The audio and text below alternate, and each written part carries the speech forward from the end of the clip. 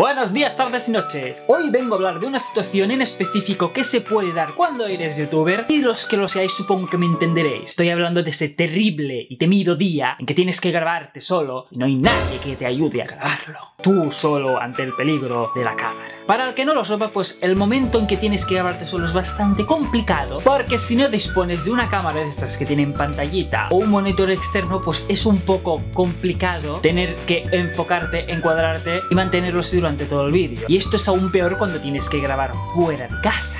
Esto es ya perderse en el monte. Así que para el vídeo de hoy voy a enumerar un conjunto de soluciones para cuando te encuentres en esta situación. ¡Vamos allá! La primera alternativa es la más sencilla de todas. Es grabarte con una cámara que tenga pantalla incorporada, así tú te puedes ver mientras estás grabando, encuadrando, enfocando y lo que sea. Si por desgracias de este mundo no tienes una cámara como esa, coge tu basura de cámara y tírala por la ventana. Ve a comprarte una nueva. Porque todo el mundo sabe que los youtubers estamos forrados. Si le tienes muchísimo cariño a tu cámara, pues entonces tira la casa por la ventana y cómprate un monitor de esos enormes con el que poder verte hasta los poros de la piel. La versión barata de la anterior propuesta es utilizar un portátil para conectarlo con la cámara, aunque yo no lo recomendaría mucho porque los ventiladores de algunos portátiles son como turbinas de un jet yendo a Match 3.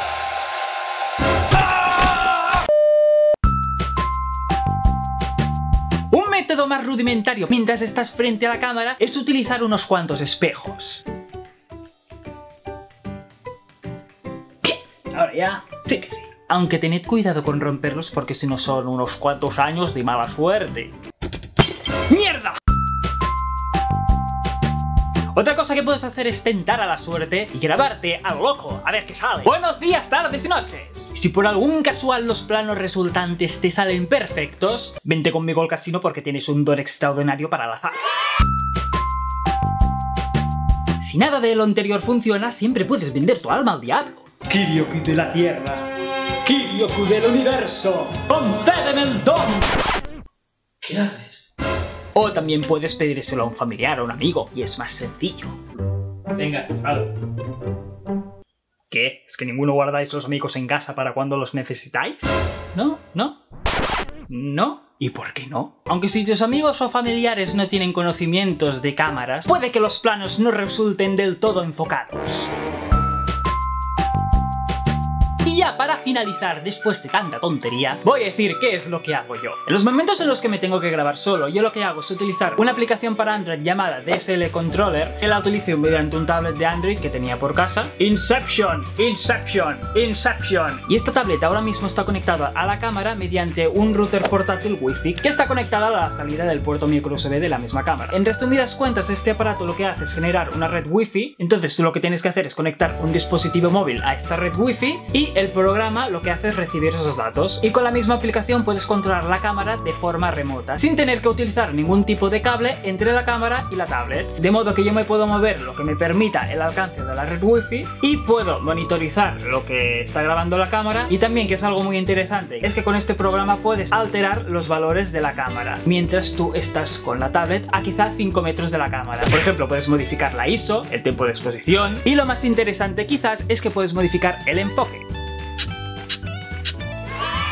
La aplicación creo que me costó entre 5 y 8 euros y este router portátil me costó unos 40 euros en Amazon. Total, por 50 euros pues tengo un sistema que me permite monitorizar lo que estoy grabando cuando estoy solo y esto está muy bien, por ejemplo, en exteriores porque es mucho más cómodo llevar solo una tablet que un portátil o otro monitor enorme y tal. Y esto aparte te permite enfocar perfectamente el plano sin tener que tocar tú manualmente a la cámara, es lo que veo más interesante de esto. A veces a la aplicación se le puede ir un poquito la castaña, pero bueno, apagas si enciendes la cámara y punto